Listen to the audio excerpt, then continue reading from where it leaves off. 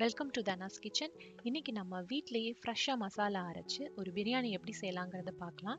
இந்த பிரியாணி ரெசிபியில் அரிசி எப்படி உதிரி உதிரியாக நம்ம எப்போவுமே குக் பண்ணும் போதும் அரிசி உதிரி உதிரியாக எப்படி பண்ணுறதுனோ அதே மாதிரி இதில் எண்ணெய் கம்மியாக ஊற்றியே எண்ணெயோ இல்லை நெய்யோ இல்லை வெண்ணெயோ நம்ம சேர்க்குறது ரொம்ப கம்மியாக ஊற்றினாலே போதும். அந்த அளவுலேயே நம்ம வந்து பிரியாணி ரொம்ப பர்ஃபெக்டாக குக் பண்ணி எடுக்கலாம். இதுக்கு தேவையான பொருட்கள் என்னங்கிறதையும் இது எப்படி செய்யணுங்கிறதையும் பார்க்கலாம் வாங்க. சிக்கன் அரை கிலோ அல்லது ஒரு பவுண்ட். பச்சை மிளகாய் ரெண்டு. பூண்டு பல் எட்டுலேருந்து பத்து. இஞ்சி ரெண்டு இன்ச். தக்காளி ஒரு கப். வெங்காயம் ஒரு கப். எலுமிச்சை பழம் ஜூஸ் அரை பழத்துலேருந்து எடுத்துக்கோங்க. பாஸ்மதி அரிசி ரெண்டு கப். உப்பு தேவையான அளவு. வெண்ணெய் ஒரு டேபிள் ஸ்பூன் சமையல் எண்ணெய் மூணு டேபிள் ஸ்பூன் கொத்தமல்லி தேவையான அளவு. என்னோட பிரியாணியோட சீக்ரெட் இன்க்ரீடியன்ட் ஃபர்ஸ்ட் இன்க்ரீடியன்ட் இதுதான். அதாவது புதினா தண்டு. புதினா இலை போடாமல் புதினா தண்டு போடுங்க. புதினா தண்டு போடும் போது பார்த்தீங்கன்னா அதோட ஃப்ளேவர் வந்து ரொம்ப ப்ளசண்ட்டாக இருக்கும். நம்ம அதோட புதினாவோட இலைகள் போடும்போது நம்ம ரொம்ப ஸ்ட்ராங்காக அந்த ஃப்ளேவர் தான் பிரியாணியில் வந்து டாமினேட் பண்ணும். வேற எதுவுமே வந்து நமக்கு மற்ற ஃப்ளேவர்லாம் ரொம்ப அமுங்கி போயிடும். ஸோ அதனால புதினா தண்டு ரொம்ப எலசாக இருக்கிற தண்டு போட்டு பாருங்கள் அதே மாதிரி குக் பண்ணும் போது போடாமல் பிரியாணி எல்லாம் முடிச்சு ஃபினிஷ் பண்ணும் போது இந்த இளம் தண்டும் கொத்தமல்லியும் கட் பண்ணி போட்டு பாருங்க ரொம்ப நல்லா இருக்கும் பிரிஞ்சி இலை ஒன்று ரெண்டு சின்ன பீஸ் பட்டை ஒரு வரமிளகா ஒரு கருப்பு ஏலக்காய் ஒரு ஜாதிக்காயில் ஒரு கால்வாசி ஜாதிக்காய் கல்பாசி பூ ஒன்று கிராம்பு நாலு ரெண்டு பச்சை ஏலக்காய் ஒரு அன்னாச்சி பூ மூணு விரல் பிடிச்சா எவ்வளோ வருமோ அந்த அளவுக்கு சோம்பு சீரகம் மிளகு. இப்போ நம்ம இந்த மசாலா பொருள்லாம் எடுத்து வச்சாச்சு. அடுத்ததா இஞ்சி பூண்டு பச்சை மிளகாய் இது மூணையும் எடுத்து அரைச்சு விழுது பண்ணி எடுத்து வச்சுக்கலாம்.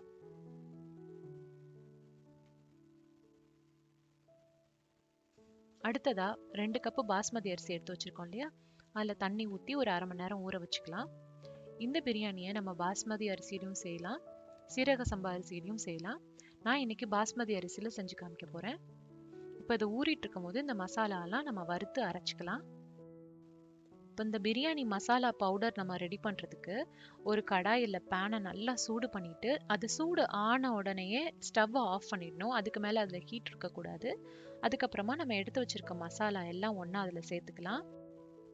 இப்போ இந்த மசாலா பொருள்லேருந்து ஜாதிக்காய் மட்டும் நான் தனியாக எடுத்துட்டு மற்ற எல்லா மசாலா பொருளையும் நான் அந்த கடாயில் சூட பண்ணியிருக்கிற கடாயில் சேர்த்துக்க போகிறேன் இப்போ இந்த மசாலால அப்படியே ஜாதிக்காய் முழு ஜாதிக்காய் நம்ம சேர்க்க முடியாது இல்லையா அதனால ஒரு கால் பங்கு மட்டும் நான் லைட்டாக துருவி அதில் சேர்த்துக்க போகிறேன்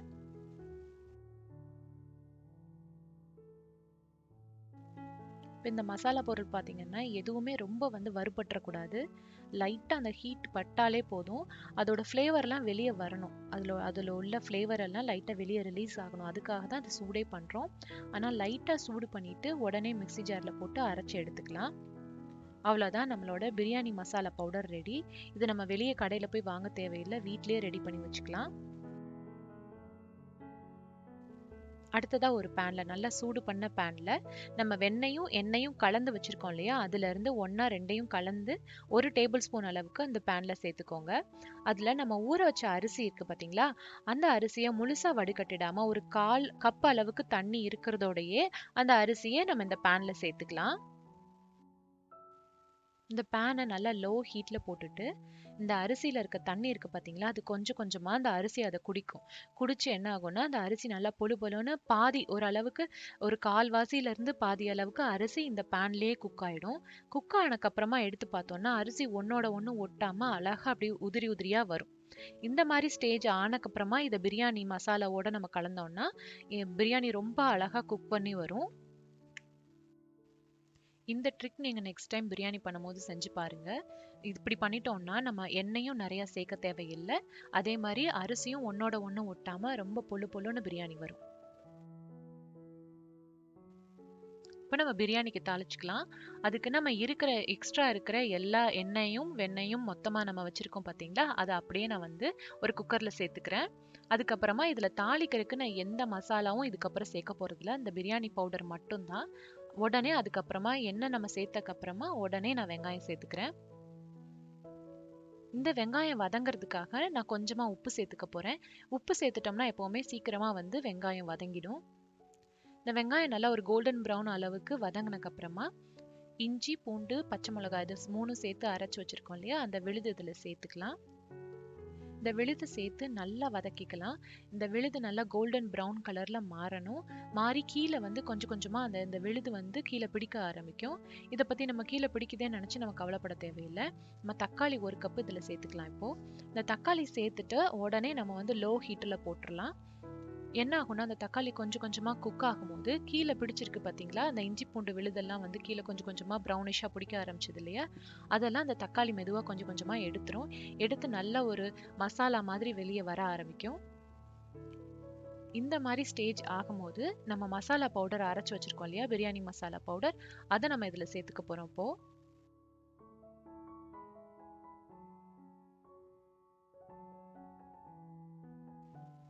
நம்ம அரைச்சி வச்சிருக்கிற இந்த பிரியாணி பவுடரை இப்போ இதில் சேர்த்துக்கலாம். பிரியாணி பவுடர் நம்ம இதில் சேர்த்தக்கப்புறமா நம்ம அடுப்பை வந்து நல்லா கம்ப்ளீட் லோ ஹீட்டுக்கு மாற்றிட்டு அப்படியே கொஞ்சம் நேரத்துக்கு விட்டுறணும். அது கொஞ்சம் கொஞ்சமாக என்ன ஆகும்னா நம்ம கீழே அந்த லைட்டாக அடி பிடிச்ச மாதிரி இருக்கிறதெல்லாம் மெதுவாக வந்து அந்த தக்காளியோட ஜூஸ் எல்லாம் ஒன்றா சேர்ந்து எல்லாமே மெதுவாக எடுத்துரும். அதுதான் நமக்கு ஃப்ளேவரே இந்த பிரியாணிக்கு. நம்ம கீழே அடி பிடிக்குதே அப்படிங்கிற மாதிரி நினச்சி நம்ம ஃபீல் பண்ணவே தேவையில்லை. அதுதான் வந்து பிரியாணிக்கு கலரும் கொடுக்கும் ஃப்ளேவரும் கொடுக்கும். இது எல்லாம் வந்து ஒன்றா திரண்டு ஒரு மசாலா மாதிரி வந்தோடனே நமக்கு என்ன வேணுமோ அதில் பிரியாணியில் சேர்த்துக்கலாம். நமக்கு நான் வந்து இப்போ சிக்கன் சேர்த்துக்கிறேன். உங்களுக்கு என்ன இஷ்டமோ அதை நீங்கள் சேர்த்துக்கலாம். இப்போ நம்ம சிக்கன் சேர்த்துட்டு இப்போ நம்ம சிக்கன் சேர்க்குறதா இருந்தோம் என்ன ஒரு மீட் நம்ம சேர்க்குறதா இருந்தாலும் அந்த மசாலாவில் கொஞ்சம் நேரம் அப்படியே நம்ம அதை மேரினேட் பண்ண விடணும். அந்த லோ ஹீட் இருக்குது பார்த்தீங்களா அந்த லோ ஹீட்லேயே இருக்கட்டும். ஹீட் நம்ம ஆஃப் பண்ணி மேரினேட் பண்ணணும்னு அவசியம் கிடையாது. அப்படியே லோ ஹீட்லேயே ஒரு ஃபிஃப்டீன் டு டுவெண்ட்டி மினிட்ஸ் இருந்தாலே போதும். நம்ம அந்த பிரியாணியில் போடுற மீட்டோட அந்த மசாலா நல்லா மேரினேட் ஆனதுக்கப்புறமா நம்ம வந்து கொஞ்சம் ஹீட் ஜாஸ்தியாக வச்சு உள்ளே போட்டிருக்க மீட்டை ஃபஸ்ட்டு குக் பண்ணிக்கலாம். ரொம்ப வந்துட்டு ஃபுல் குக் பண்ண தேவையில்லை. ஒரு ஹாஃப் டு த்ரீ ஃபோர்த் அளவுக்கு நம்ம குக் பண்ணிவிட்டு அதுக்கப்புறமா தான் ரைஸ் சேர்க்கணும். இப்போ இந்த சிக்கன் பாருங்கள் ஒரு ஹாஃப் குக் ஆயிடுச்சு இப்போ இந்த மாதிரி ஸ்டேஜில் நம்ம வதக்கி வச்சுருக்க அரிசியை வந்து இதில் சேர்த்துக்கலாம். இப்போ அரிசி பாருங்க ஒரு ஒரு மாதிரி கால்வாசி அரிசி வந்து குக் ஆயிடுச்சு. அந்த கொஞ்சோண்டு இருந்த தண்ணியில் கொஞ்சம் குக் ஆயிடுச்சு. அதனால பார்த்தீங்கன்னா அரிசி வந்து ஒன்னோட ஒன்று ஒட்டாம ரொம்ப ஆயில் ஃப்ரீயாக இருக்கும் இந்த பிரியாணி பாருங்க. நீங்கள் இப்படி செஞ்சீங்கன்னா அரிசியும் ஒன்னோட ஒன்று ஒட்டாது. நமக்கு ஆயிலும் ரொம்ப குடிக்காது பிரியாணியில். இது கட்டாயம் ட்ரை பண்ணி பாருங்க. இந்த ட்ரிக் பண்ணி பாருங்க. உங்களுக்கு எல்லா பிரியாணி புலாவ் எல்லாமே சூப்பராக வரும்.